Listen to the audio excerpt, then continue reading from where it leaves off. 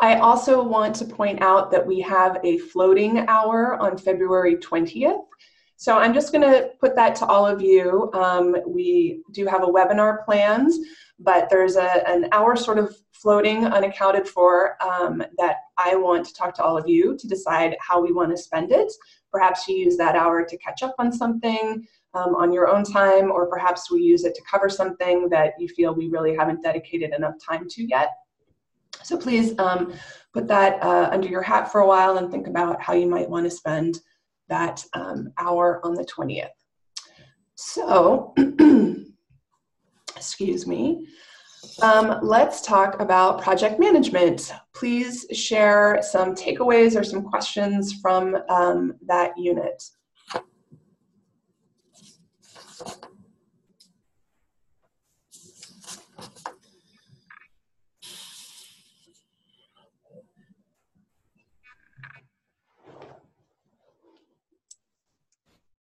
Um, I was impressed by all of the templates that were available. I think that I we're, I'm not at a point where I'll be needing those, but I've never worked on a project that required that kind of clarity of um, just the editing process back and forth, exactly what um, you expect the instructor to do with their book at this stage.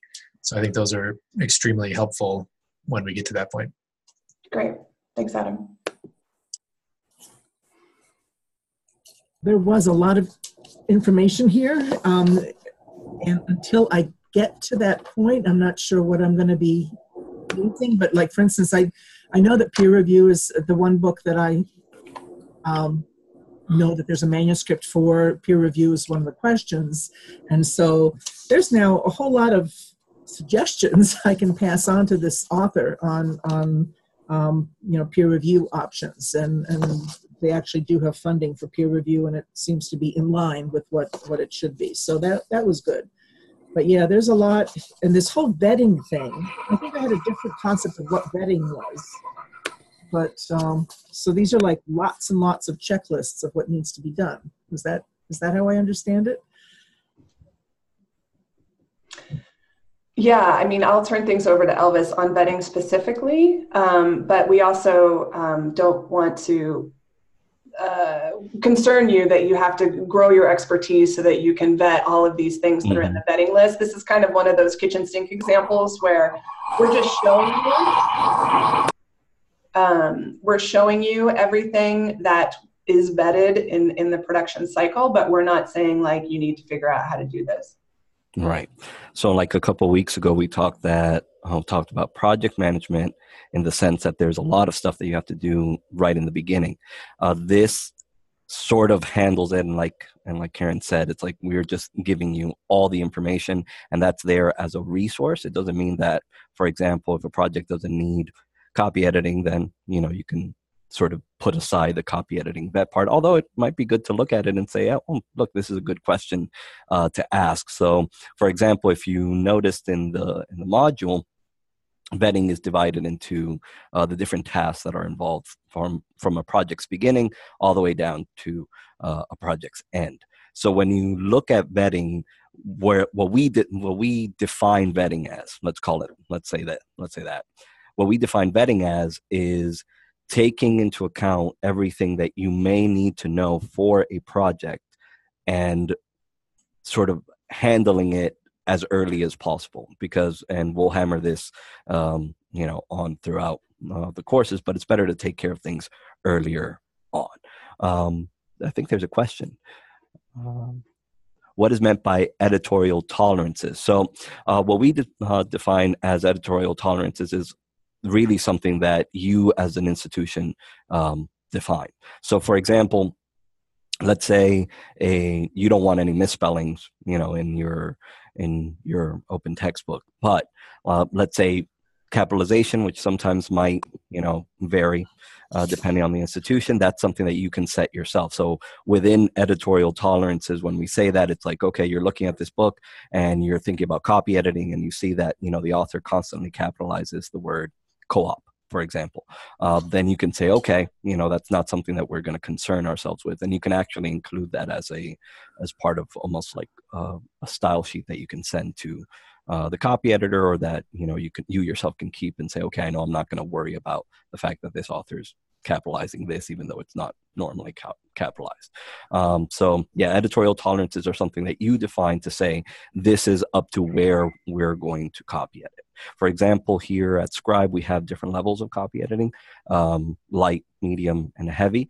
Um, and as those um, designations sort of say a light edit is really looking for spelling looking for very light errors. Uh, we're not worried about like the actual content if you will. Meanwhile um, something that's heavier will have us look at the files and say okay like this sentence needs to be completely changed and we're going to go ahead and change it and give you that as a suggestion rather than just leave a comment for the author to change. So i hope that that answers um, that question and also answers a little bit about the vetting. Uh, if I can just jump in, um, I know that those vetting checklists are really dense and overwhelming. And I just, one of the things we say at Scribe is we pride ourselves on never screwing up in the same way twice. We always strive to make new and interesting screw ups. and one of the ways we achieve that is by our vetting checklists being living documents. And so what you're seeing is the result of years and years of our mistakes and how we could have prevented those mistakes if we knew about them earlier. Um, and so that's why they're so dense and overwhelming. And that's essentially what vetting is is is looking at what you have, uh, looking at uh, what you know of is going to be required for this project and where the gaps are between those two things. So that's the purpose of all that that those checklists. Thank you both. Are there other um, questions or clarifications before we move forward with project management? I just want to address um, Marilyn's uh, question about the digital hub. I provided a link, it's there in the chat. Uh, we will be talking about that um, a little bit more later on. We're not going to be focused too much on that during um, project management, although I do know that in the vetting spec it says like upload this to the digital hub and see what it gives you. But once we talk a little bit more about vetting, we'll talk about the digital hub in more extensive terms. Thanks. So today we are fortunate to have two people from the first cohort to share their experiences, what they've uh, learned, and um, uh, I would now like to introduce uh, Carla Myers and Kathy Labadorf. Um, sorry, one webinar after another. I'm, I'm trying to keep my keep my wits about me here uh, as as lunchtime slips away. Um, but yes, Kathy and Carla are both here, and so they can share what they've learned, as will Elvis in his role working with authors. Um, so now I'll, turn it over to them to kind of uh, make sense of what you learned about in your unit, and for you to ask them and engage them um, around questions that might be on your mind. Carla, you're unmuted, so let's start with you. Okay, that works. Um, so if you were just in the webinar, first off, thanks for attending. And second off, I'm going to repeat what I said there, communication, communication, communication um, from both sides. I think starting off clearly communicating, here is what we are offering you, here is what we can do. And when we get people who say, hey, I'm kind of interested in this, I say, fabulous. Let's find a time where I can come over to your office and sit down and talk about you, talk about this with you more in depth because it's not an easy conversation to have via email, it's so extensive. So I'm like, great, you know, I'm in your office. Tell me about this. What caught your interest? What are your plans? You know, do you already have a manuscript in process? Do you have an outline? So, kind of getting a feel from where they stand.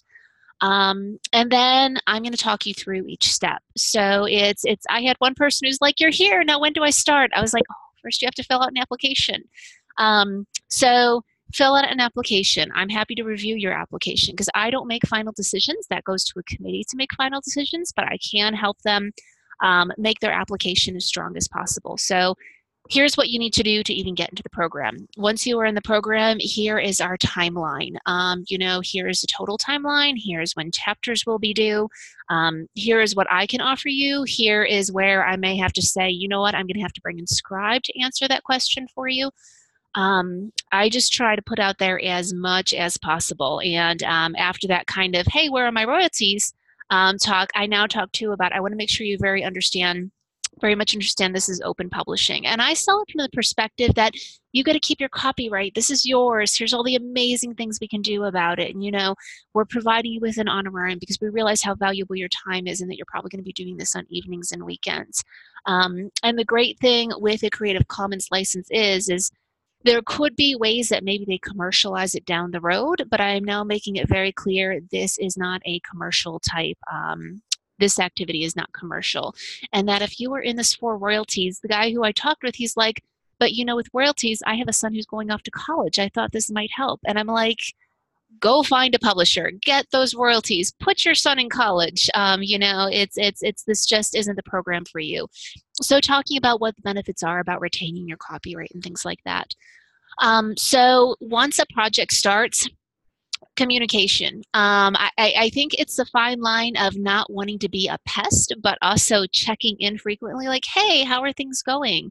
Um, one thing that Karen talked about um, that I'm probably going to start integrating is you are required to meet with me a couple times so we can sit down and talk in person. Um, I love that idea, and I've been going with kind of the gloves on approach that I don't want to be too in your face, but I can tell you as an editor, you have to be there and sometimes you have to make the um, contact out to them.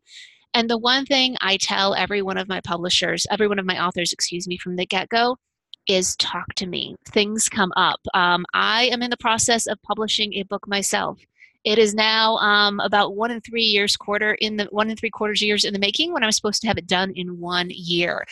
And I, I, told my editor it's not that i'm sitting at home eating bonbons. It's it's that you think i'm going to work on it this evening and then something comes up at home or you set aside a day at work to work on a chapter and you know 50 people show up in your office and tear you out of your office and make you go to horrible meetings um, when you think about what you could actually be getting done.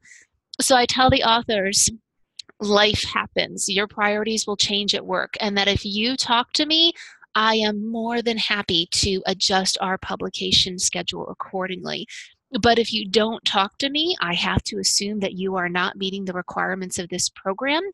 And um, it, it's I don't want to get to the point where we have to boot you out for non-communication.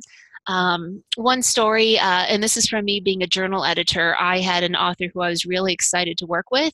They stopped talking to me. They didn't respond to a series of emails. They didn't respond to my phone calls because apparently they knew my area code. So at one point, I picked up my cell phone, which has a very different area code, and I called them. And they said, Hello, this is so and so. And I was like, Hey, it's Carla and if you can hear hear somebody's intent over the phone that do i hang up now and run away or do i actually talk to her? I swear i could hear that decision being made through the phone. And they said i'm so sorry. Let me tell you what's been going on. It's it's you know i had this at work and then i had this happen in my personal life. And i was like dude that's okay. Like these things happen.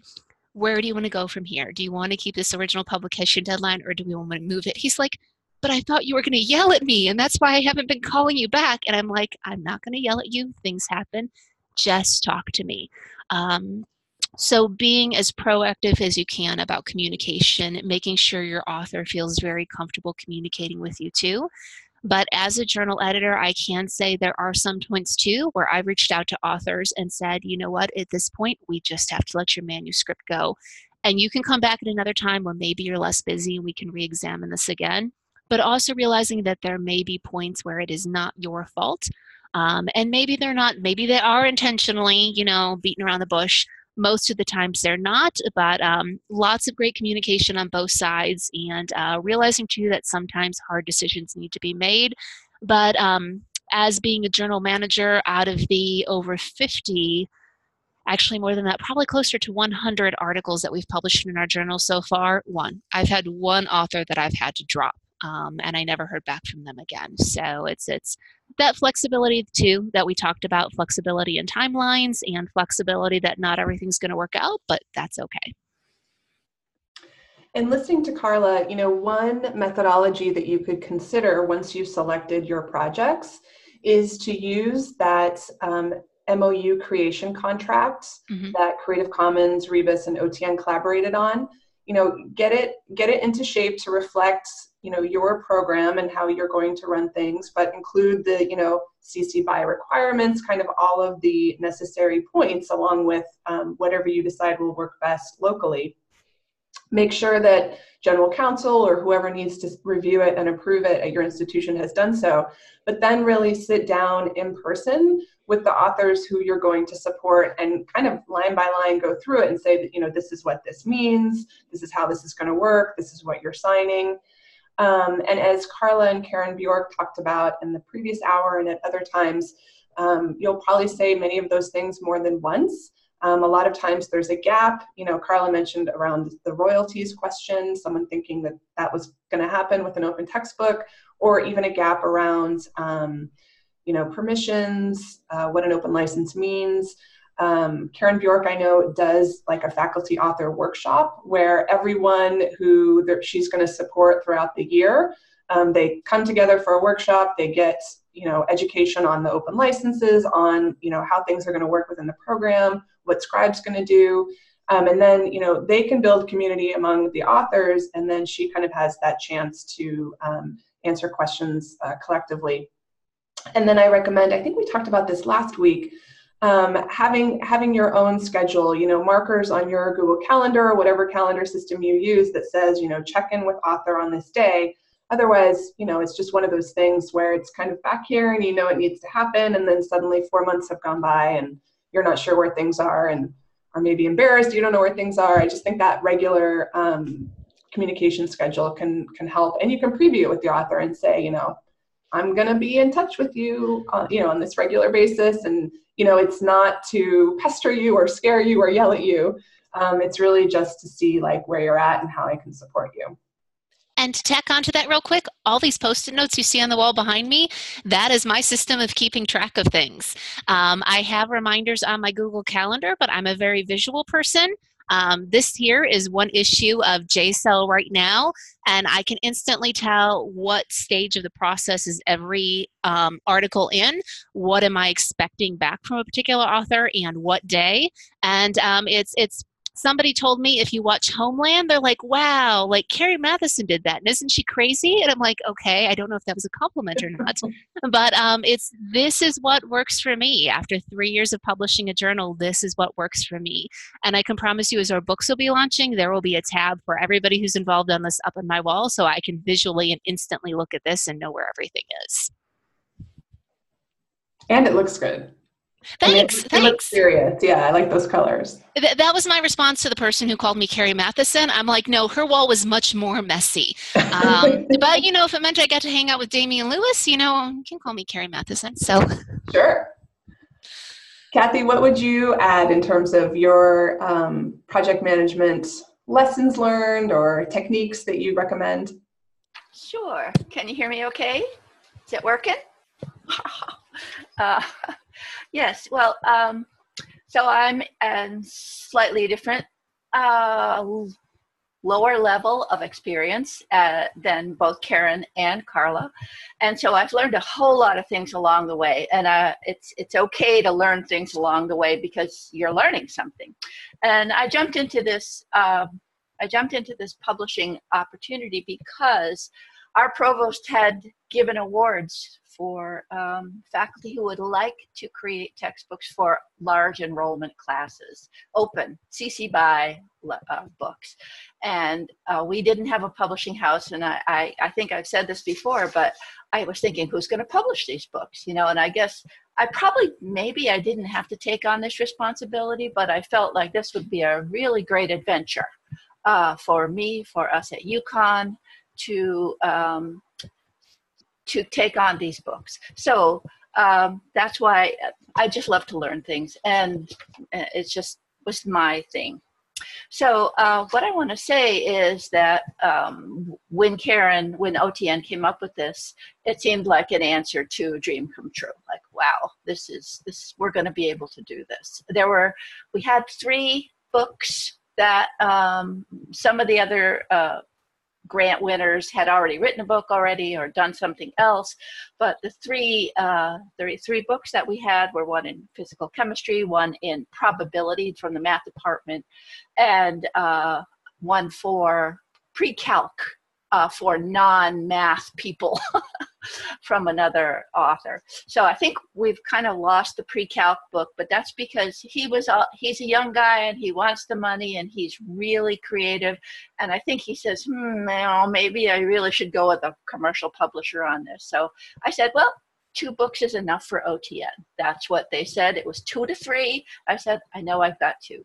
So the first book we had was the physical chemistry book.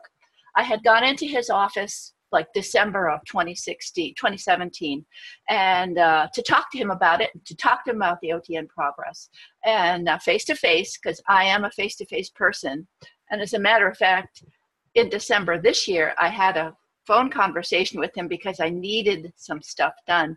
And he actually got quite upset with me because I was kind of, you know, forthright and he's an Indian man and perhaps doesn't expect that. I don't know if that has anything to do with it, but but we worked it all out, so everything's fine. But sometimes you do have to speak uh, plain English to your authors, as we've heard from both uh, Karen Bjork and and Carla in the last uh, last session.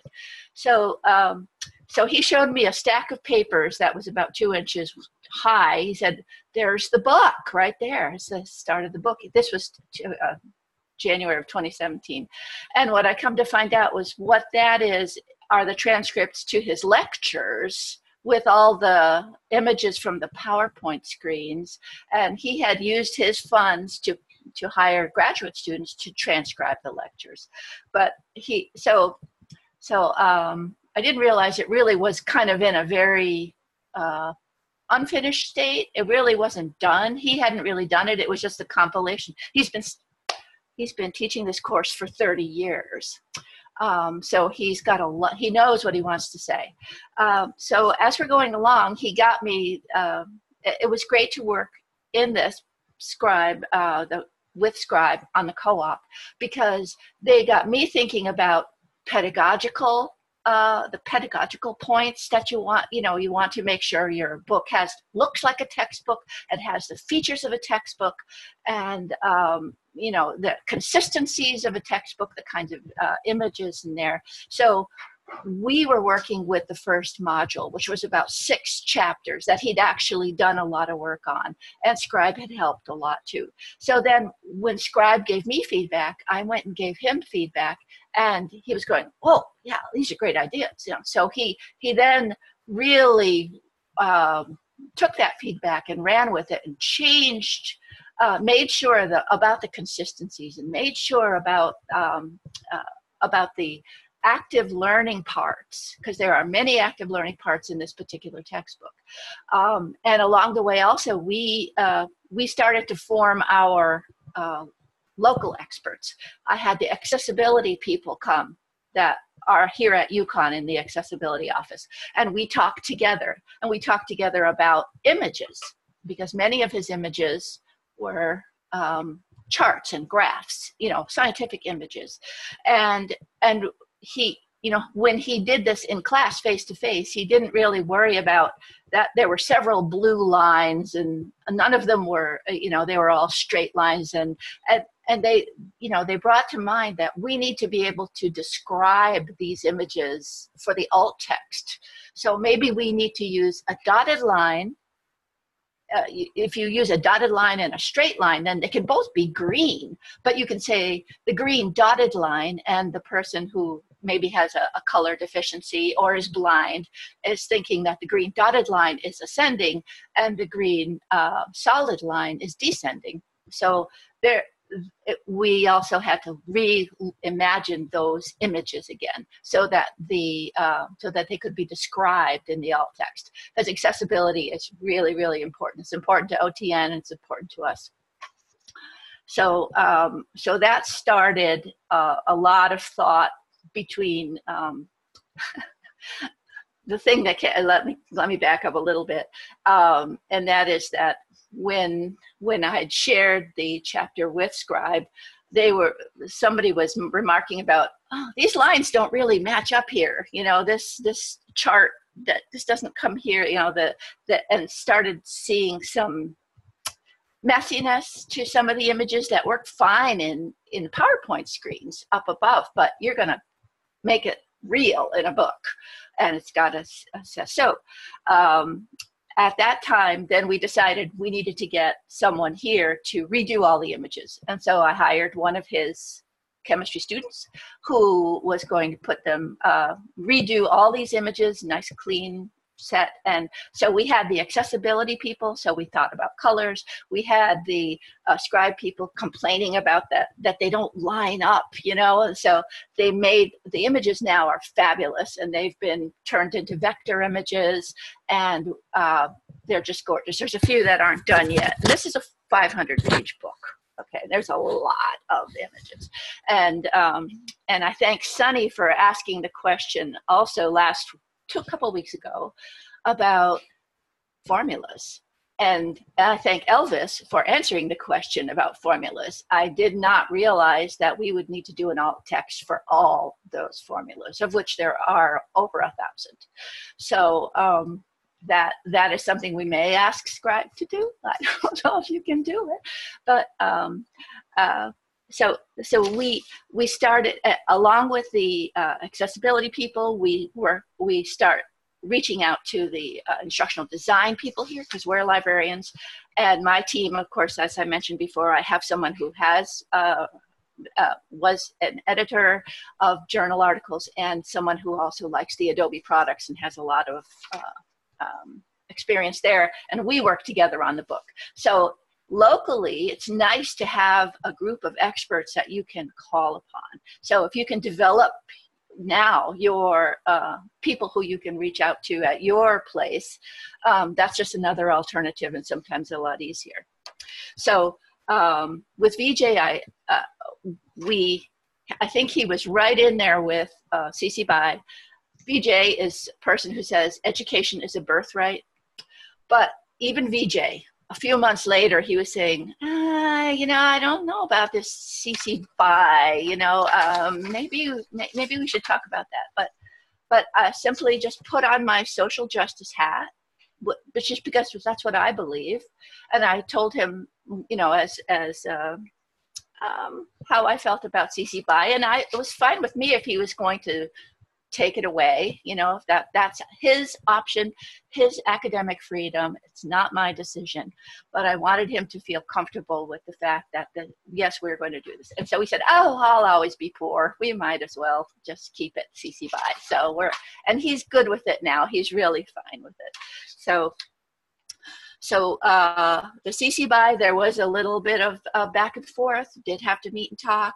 The um, the images again uh, still, the images were not quite as good, so that was a whole process too. So we uh, we finally gotten there. When I got, you can always reach out to the Mike. It would be now because it was Tim before, who uh, knows the the kinds of you know 300 dpi is that right or do you want 600 you don't want 600 300 okay and uh, for for things like mathematical graphs it's got an svg or an eps and so we we got those in so that they could get as big or as small.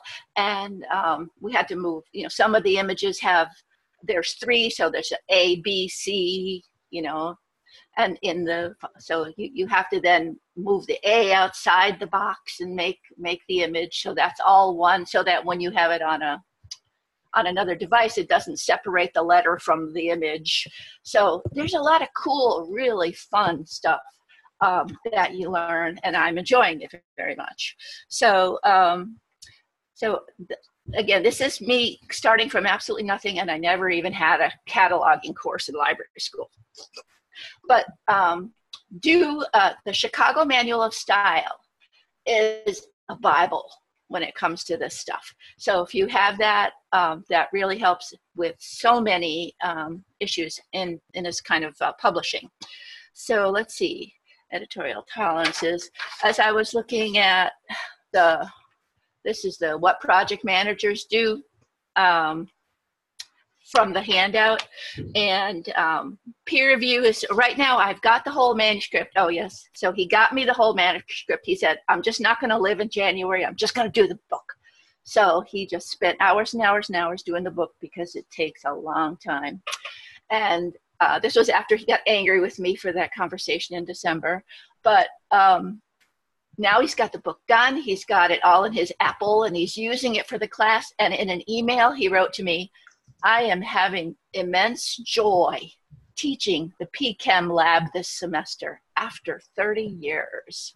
So, I mean, he's he's really happy okay that he that he just said he just put himself down and got it. So there were lots of other um, things along the way but i think uh, the having the, the, local team and having to reach out the community and uh, you got to learn those little details too um, unless you want to have pay somebody to do them.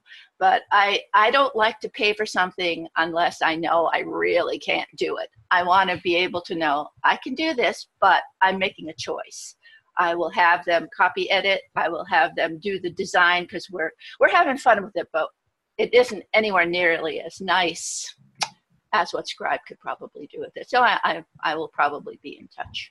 But there's a lot that goes on in that one year. Our the one thing I did learn for sure is that when my second book, the author came, he's it's a group of authors, and he says, "Well, well, what what shall we do next?" I said, "Well, you contact me when the book is complete. don't I don't want to hear anything from you until you can hand me the manuscript." So that's something I learned from BJ. But um, if I hadn't if I hadn't taken advantage of what BJ's already done, then um, I wouldn't have learned as much. And Scribe used ours as a, a model for some of the classes. So it was it was a, a win-win situation as far as I'm concerned. Thanks. Thanks, Kathy. So to compare and contrast what we heard between Carla and Kathy, Kathy just said, you know, don't talk to me until you have your manuscript. Um, and other people may be like, I'm going to stay in touch with you so that I get your manuscript. Um, and there's no right or wrong way. It's, you know, what works best best for you and your publishing program. I will also said, as Kathy did really about herself, she is someone who wants to know and understand each element of book production and has been just totally invested in understanding everything from A to Z. Whereas, you know, Carla talked about in the webinar, um, even though she she has a, a background in journal publishing, she's going to step back and say like, you know, I'd rather um, focus my time on these relationships and work with Scribe to do um, you know this very detailed work. So I think it's two two great examples of how you may choose to um, run your program or somewhere in between. Um, Emily had a question for you, Kathy, while you were talking.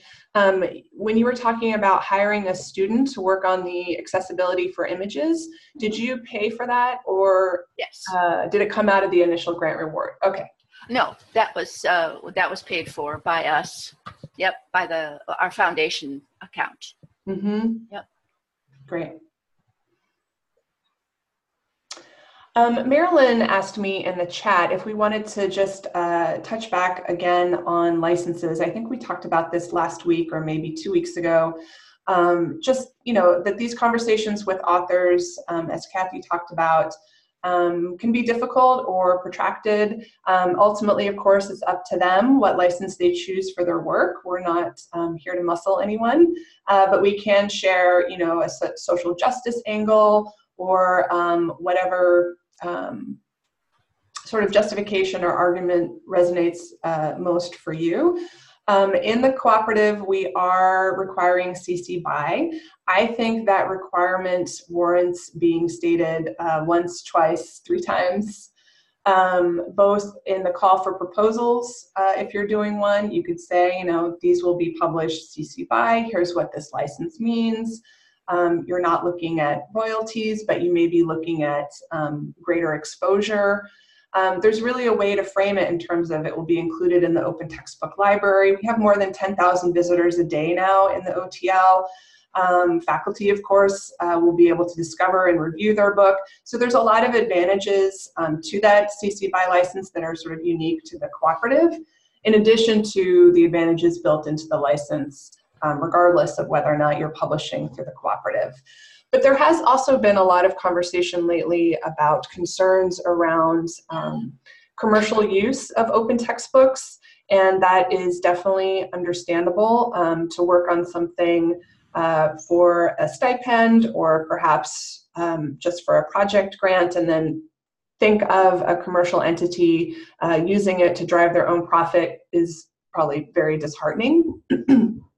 and so when this this question has been coming up, and I actually uh, was talking to Cable Green about it a week or two ago, um, asking a very specific question, and that is, and I'm sorry if I'm repeating myself. Feel free to tell me.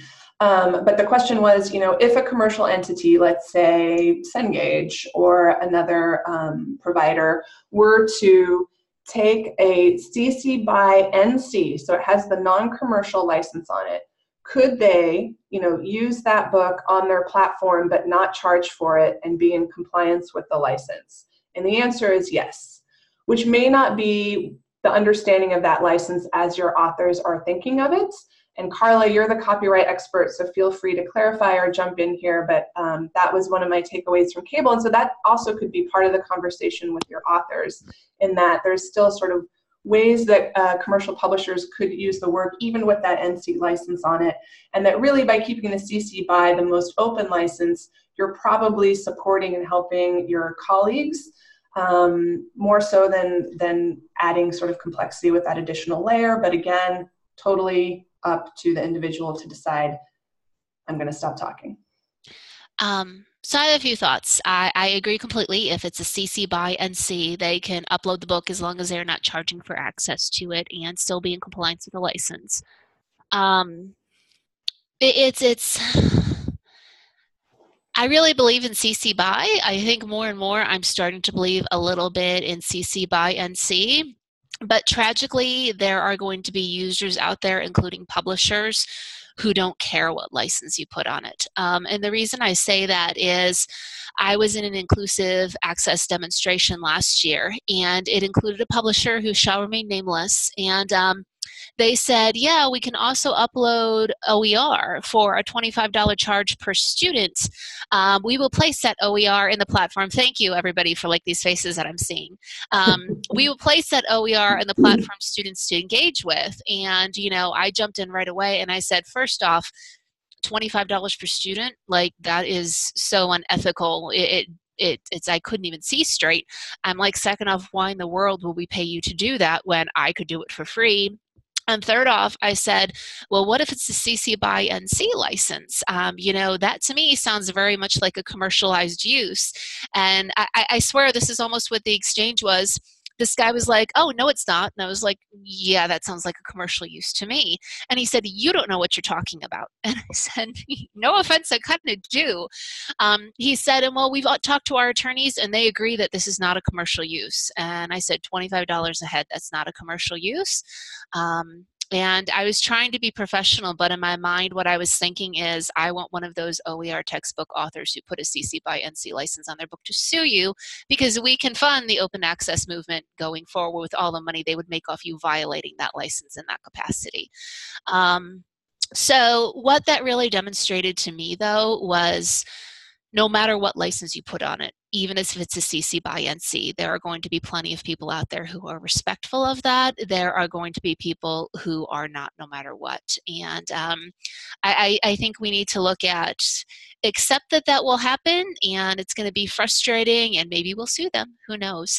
But um, to get too restrictive to try to prevent some people from doing uses we might not com- be comfortable with when some people are going to do those uses anyway might be taking it a little too far. So instead to license for what will be best for most people and deal with those jerks on a case by case basis. Um, i hope i said that appropriately. Um, but that's why i still believe in the cc by but uh, you will also see more and more things that i'm putting forward that has the nc on it just for that reason Thanks, Carla. I'm so glad you're here as a copyright expert and you could share um, that information with us. Are there other questions, other things we want to take advantage of uh, Carla's expertise or Kathy's story? Emily? Yeah, I have a question. So I know both of you um, sort of spoke to scenarios where you had started working with a, a faculty member. Um, and then, especially with your case, Kathy, he there was a time where it sounds like you were some amount of time invested in the project, and he was considering um, stepping aside and pursuing the um, royalties route. That also happened with you, though, Carla. And so I'm curious in the beginning if you had them sign like a MOU, um, and if you had paid them any money yet, and what, how you would have handled the scenario if then after that investment of time and maybe some exchange of money if they had said oh wait i do i want to publish a route where i get royalties how you would have handled it Well, yes, there. Um, I do have that situation right now, as I said, with the other math professor who I haven't heard from, and um, I I don't know where the provost grant money is, and I, I'm wondering, is there something I should do about this if if he doesn't actually come through with the project?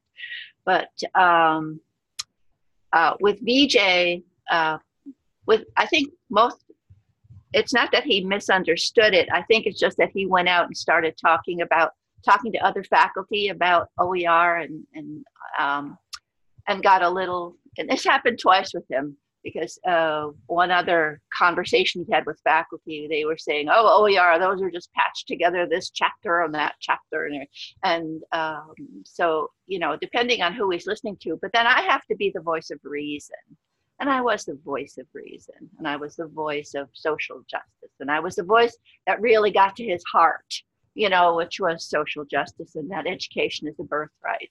So um, uh, I actually can't answer the question about the money because I'm wondering about that with our other author, and I don't know because the the provost is gone now. He's in Missouri now, so um, I don't I don't know what if it's worth doing anything about that.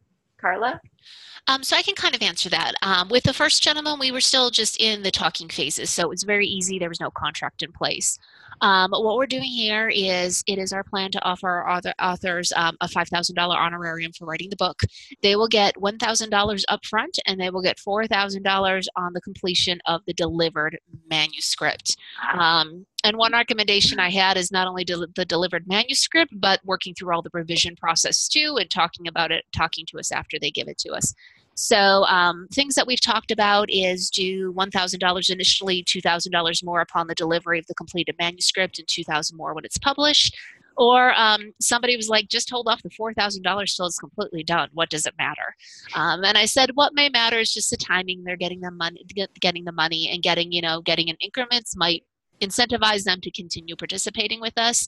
But um, we have thought about that, and uh, that is our game plan: is bit by bit. That's a good game plan. I've thought about that for other ones, but I didn't have any um, power to do that with the provost grant. That was a completely different committee, so I couldn't even suggest it. They just gave them the money.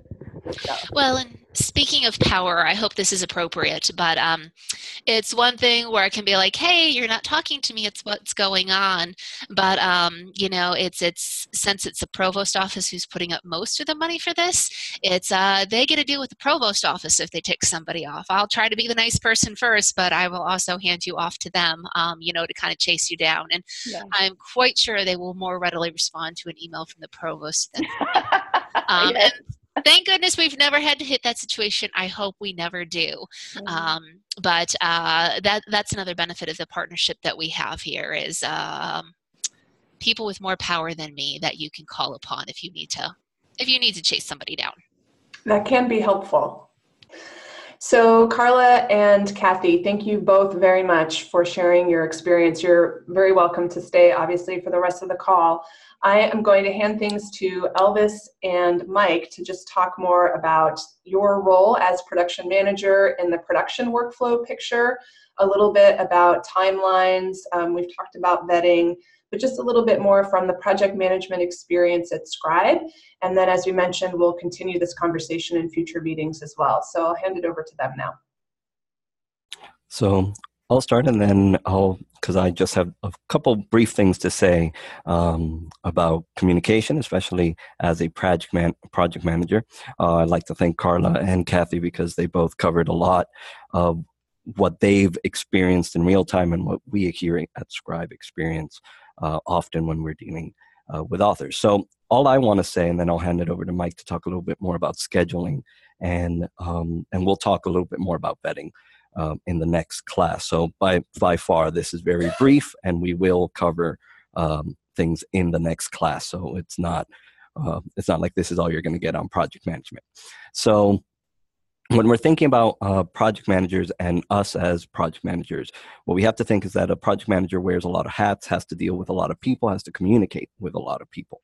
Um, and that really is key. We have to communicate effectively and we have to really make sure that everything we're saying is clear. We can never assume that anything that we tell an author or somebody that we're working with, like a freelancer um, or even just an outside contractor, um, is you know they're understanding it perfectly. And this is not to say that you know the authors or the freelancers or whatnot aren't capable of understanding.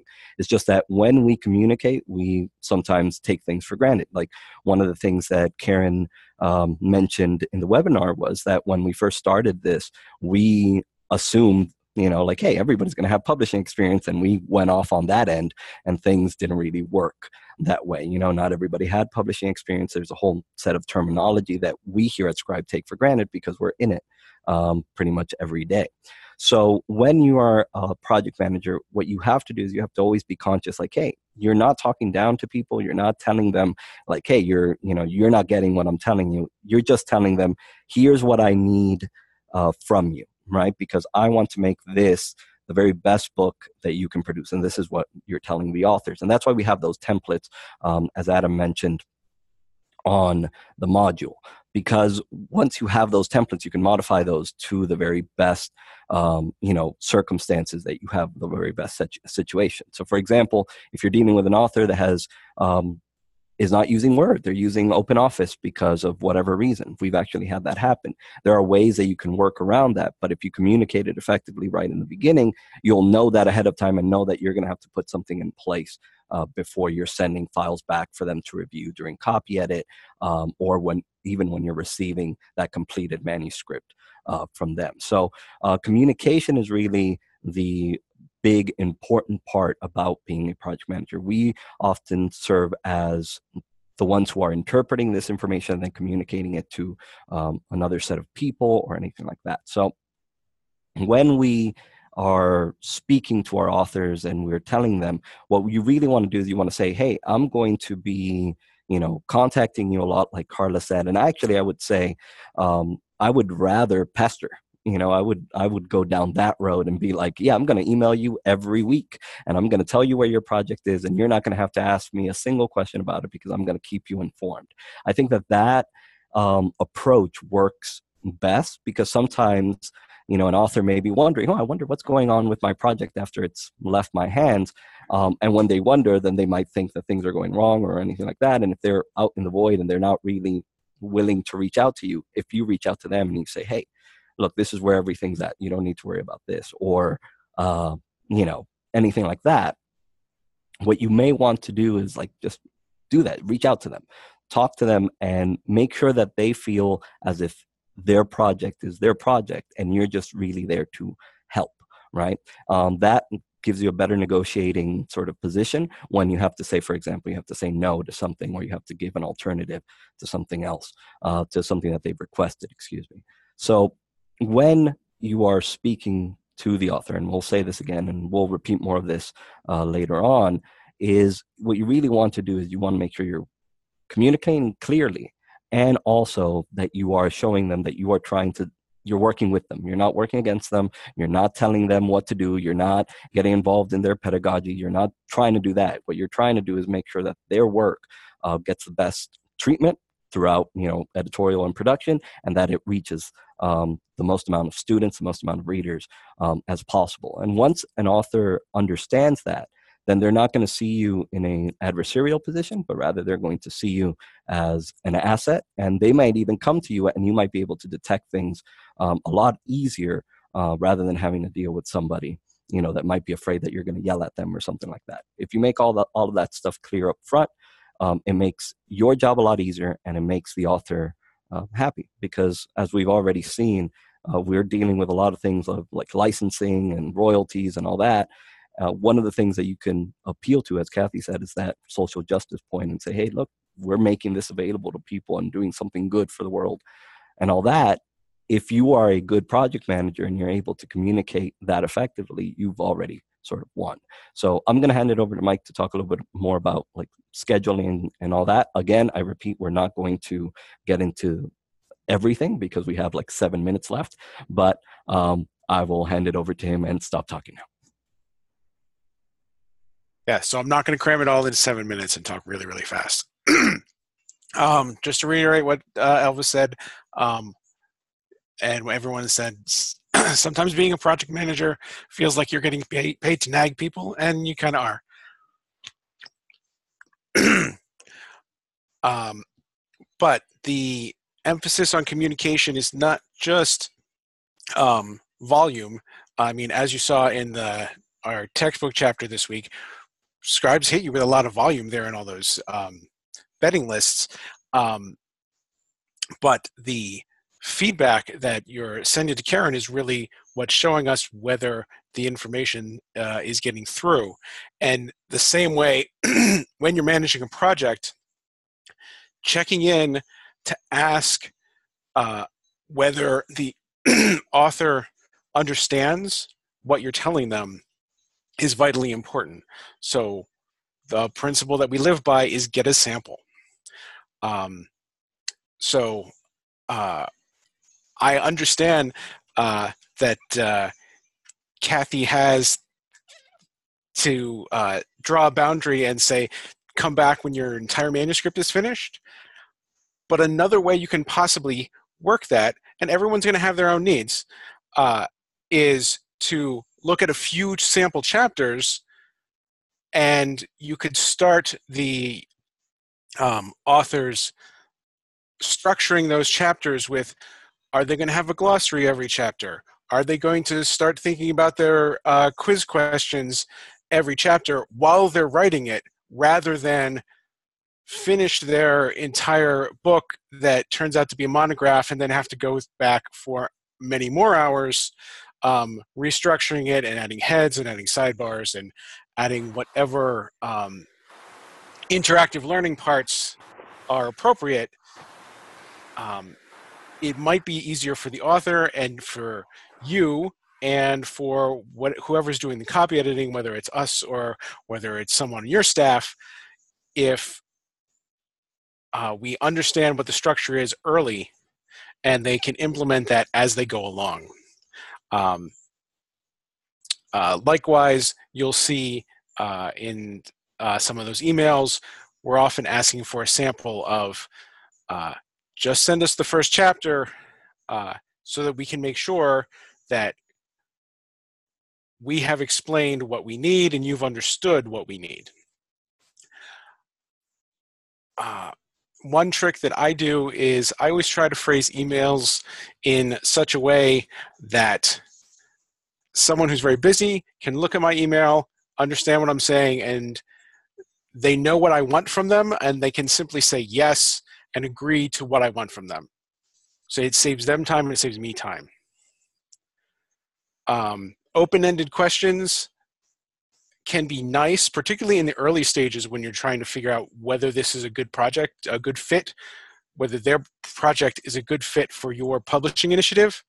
Um, but during the nitty gritty, when you're getting into you need thing X by date Y, uh, open-ended questions aren't very efficient of can you when can you get this back to me? is not a good question. Please get this back to me by march 31st by end of day. Uh, let me know if there if you cannot meet that date. is much more efficient. It lets people know uh, what's expected of them. It also lets them know uh, that you know what they're what you're doing and that you're on your on their side working for them uh, just like Elvis said and um, we're at two minutes to I think that's all I want to get into today. Thanks, Mike. Um, so one thing I'll highlight in conclusion is in listening to Carla, Kathy, Mike, and Elvis today, um, you probably noted that your project management will change depending on where the book project is at. So what kind of management is required during the call for proposals, meeting with people early on, kicking off their project, and then while they're writing the project is, is different. It might require a check-in now and then. It might require um, a sample manuscript to review or a sample chapter. But then during production phase, as we heard about in tea time, that's going to require um, some back and forth. Uh, you'll be the intermediary, most likely, between scribe and the author. Although Elvis has told me in the past that if it's helpful, they're happy to be on calls um, directly with authors as well. If um, you're caught in the middle, or um, you know they really want to hear it directly from Scribe, that's something um, they're able to offer. So um, project management time commitment will go up and down depending on where you are in the process but um, we are here to support you in that. So we'll talk more about project management as the course goes on. Next week, we're going to talk about editing and design, the production phase of the book once it's completed. Um, and that's really so that you can get a big picture of what's involved in book production, and we'll um, frame project management within those phases as well. And um, I look forward to seeing you all again soon. If you have questions or concerns in the meantime, uh, let me know. Thank you, Mike, for the reminder. Uh, the homework is a little different for the next meeting. Um, you're going to be reviewing units four and five, which I know is two units instead of one, um, but really it's just to kind of give you the big picture. You don't need to master all of the content in those two units. Um, but what we would really like you to bring in addition to your takeaways and questions is an example of an instructional book that you consider beautifully and helpfully designed and edited. So it does not need to be a textbook. It could be a textbook, but really we're just looking for something, a, a book or some printed something that taught you how to do something you didn't know how to do previously and just you're going to share 60 seconds or fewer what you like about it, what you think is effective about it. Again, to sort of support our conversation around uh, structure and design elements to support learning. Any questions before we adjourn about that? And okay, we're at the hour. Uh, see you all again soon. Thanks for your feedback and keep it coming. Bye bye.